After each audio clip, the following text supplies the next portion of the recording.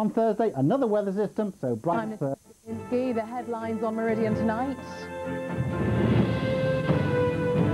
A 16-year-old boy is critically ill after taking ecstasy. His parents are at his bedside. And keeping her promise, Sally Becker returns to Albania to rescue 12 children and their families. For all the day's news, the sport and the weather, join Fred Dinenage and me live at 6 for Meridian Tonight.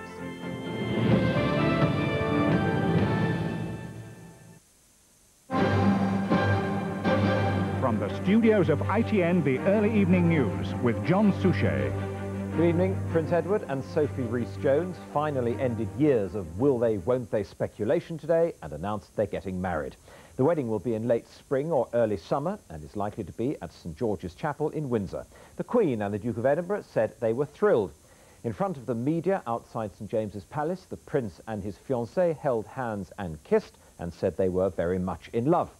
Prince Edward revealed his proposal had taken Sophie by surprise. Her reply, yes, yes please. Our first report is 5.40 tomorrow.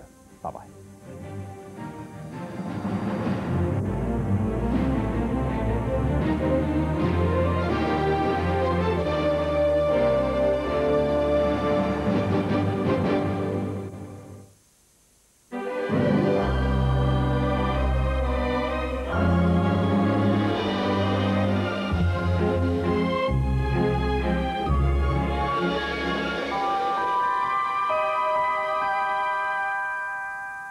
Hello, good evening. Well, it's no wonder Britain's weather is always a talking point. Some days it's just bizarre, and today was one of them. This cold front has produced hours of rain, as you can see on the radar pictures, across Wales, the Midlands, up towards Yorkshire and Lincolnshire. The roads are awash, there's localised flooding, but just a few miles to the south and east of that, in the London region, we've had the warmest January day on record. That's for over 150 years, so dramatic contrast today.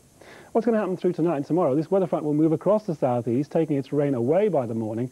This little ridge of high pressure will give many of us a bright start tomorrow, but then already in the west you'll have the next lot of wet and windy weather, and that's going to sweep eastwards across all parts of Britain through the day tomorrow. And then it's all change again for the weekend. You can see the low pressure forming in the south and east. That's likely to pull much colder weather in from the north and east. There may even be some wintry showers around by Saturday, so a big change on the way. But let's concentrate on the next 24 hours first of all. As far as the night's concerned, the rain that is still currently across Wales, the Midlands and the northeast will come down across the southeast this evening, clearing away overnight. Clear skies for many then for a while. A touch of frost in the north, perhaps some icy patches, one or two mist and fog patches too. But by the end of the night, the next lot of rain just knocking on the door out in the west there. In fact, through tomorrow morning, that's going to come across Ireland, and by lunchtime, it'll be many western parts of Britain, cloudy and wet, as you see there. The east a bright start, but this cloud and rain will be sweeping pretty quickly, I think, north and east through the day, and by this time tomorrow, most of us will see it, with some brighter weather to follow for Northern Ireland. As for the temperatures, much colder in the south tomorrow, typically around 7 or 8. Here's a summary. Power Gen. Power, whatever the weather.